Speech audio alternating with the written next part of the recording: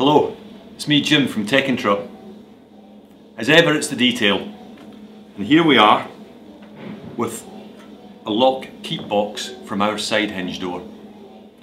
You might think, wow Jim that's exciting. Well it is really. Let me show you the benefit. This is the finish that your customer gets. When they look inside their lock keep box they don't see horrible foam and rough finishes. Quality. I'm out of here.